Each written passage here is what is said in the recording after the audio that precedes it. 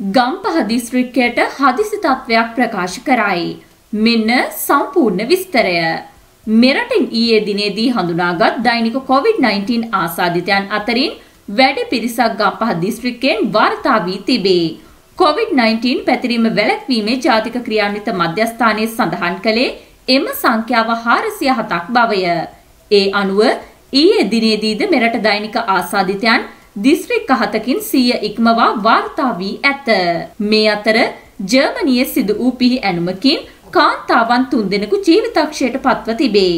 සුපිරි වෙළඳ සංකීර්ණයකදී මෙම පිහි ඇනුම සිදු කර ඇත්තේ විසි හතර හැවිරිදි සෝමාලියානු ජාතිකයෙකු විසිනි. සිද්ධියෙන් තවත් පුද්ගලයන් පස් දෙනෙකු තුවාල ලබා තිබේ. සැකකරු අත්අඩංගුවට ගෙන ඇති අතර ඔහු ඉස්ලාමීය අන්තවාදී මත දරන අයෙකු බවටයි එරට පොලිසිය සැක පළ කරන්නේ.